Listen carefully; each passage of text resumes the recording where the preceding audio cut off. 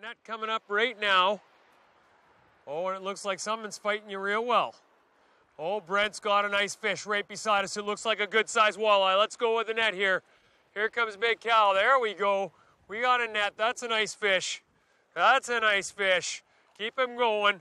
Oh, yeah, that's a nice sized walleye. That's a nice sized walleye. We'll bring him up and through, and there we go. We got him in there. Good job. That is a hog walleye. You are just pounding the fish. Just a beauty for the ages. This guy getting her done like you knew he would. What a guy. Here we go. Flagstaff County all the way. Let's get that back in the water for a safe live release. And he's going to do that. There he goes. Back down in the water. And just hold him, you betcha, and take your time with him.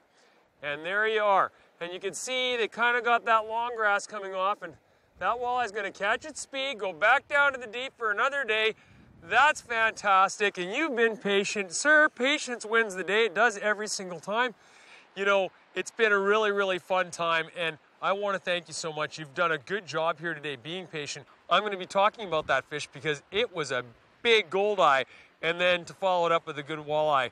Couldn't happen to a better guy right here. Hey, Put it right here, buddy. Right on. Couple of hogs today, eh? That's what I'm saying. That's what I'm saying.